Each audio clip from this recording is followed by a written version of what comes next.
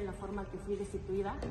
El día 14 de febrero me mandó a traer el director de mi carrera, el licenciado Kevin Rodríguez Armada, quien se acaba de incorporar a la ingeniería, en donde me llamó a su cubículo para notificarme que había cesada, estaba siendo cesada perdón, de mis labores. No me supieron decir el motivo alguno.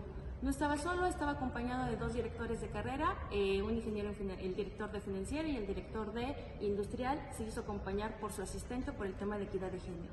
Les comenté que no había ningún problema, me fui a mi lugar a recoger mis cosas, estaba sentada esperando a que fueran por mí, ya que yo no me podía trasladar con todas mis cosas o artículos personales. Estaba esperando a que llegara un familiar conmigo.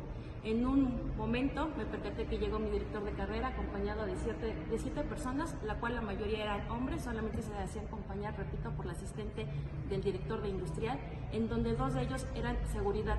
Seguridad que no portaban el uniforme contratado por la Universidad Politécnica de Tlaxcala, en el cual ningún momento me notificaron pues iban a llevar el tema de la seguridad, ¿no? Yo creo que no era la forma, no me robé nada.